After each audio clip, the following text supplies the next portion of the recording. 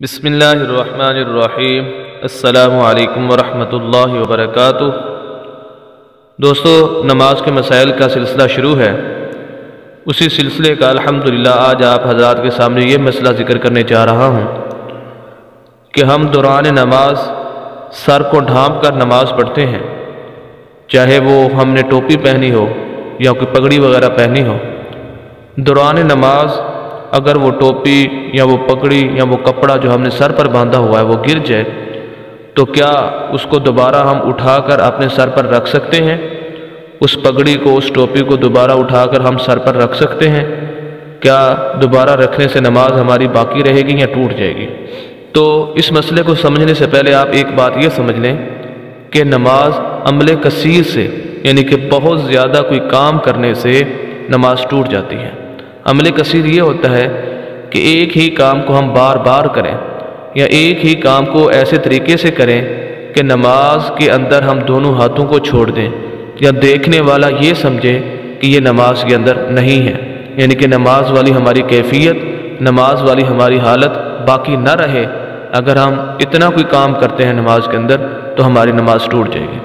बाकी बात रही कि क्या टोपी गिरने से या पगड़ी या कपड़ा गिरने से दोबारा सर पर रखने से नमाज़ रहेगी या नहीं?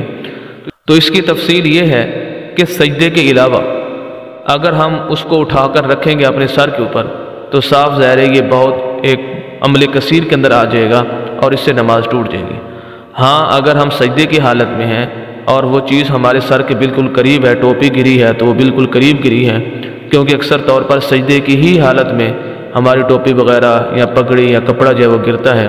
और सजदे की हालत में वो बिल्कुल हमारे करीब है और हम एक हाथ से उठाकर उसको अपने सर पर रख सकते हैं तो ऐसी हालत में तो दुरुस्त है। लेकिन अगर हमें एक हाथ से नहीं, बल्कि दोनों हाथ नमाज़ के अंदर इस्तेमाल करने पड़ते हैं तो ये अमले कसीर के अंदर आ जाएगा और ऐसी शक्ल के अंदर अगर हमने उस टोपी को या उस कपड़े को उठाकर अपने सर पर रखा तो नमाज़ टूट जाएगी। क्योंकि कुछ टोपियाँ ऐसी होती हैं जो सख्त होती है तो उनका जो है वो फौरी एक ही हाथ से आदमी अपने सर पर रख सकता है। और कुछ टोपियाँ ऐसी होती हैं जो कपड़े वाली होती हैं, या धागे वाली होती हैं, जाली वाली होती हैं। उसके लिए जब तक दोनों हाथों का इस्तेमाल ना किया जाए तो वो सर पर सीधी नहीं होती, नहीं टिकती। तो ऐसी टोपी को दोबारा उठाकर सर पर रखना, इससे नमाज़ टूट जाएगी। हाँ गत्ते वाली टोपी थी, सख्त टोपी थी। तो जैसे ही आप सजदे में गए, एक हाथ से आपने आराम से उठाकर उसको अपने सर पर रख लिया तो ये अमले कसीर के अंदर नहीं आएगा, इससे नमाज़ नहीं टूटेगी। इसके अलावा बाकी जितनी भी सूरतें हैं, पगड़ी को उठाकर सर पर बांधना, कपड़े को दोबारा बांधना या जाली वाली टोपी को दोबारा सर पर रखना, इन तमाम सूरतों के अंदर वो अमल कसीर हो जाएगा और अमल कसीर की वजह से नमाज़ टूट जाएगी। तो इस वजह से ये एहतियात करनी चाहिए।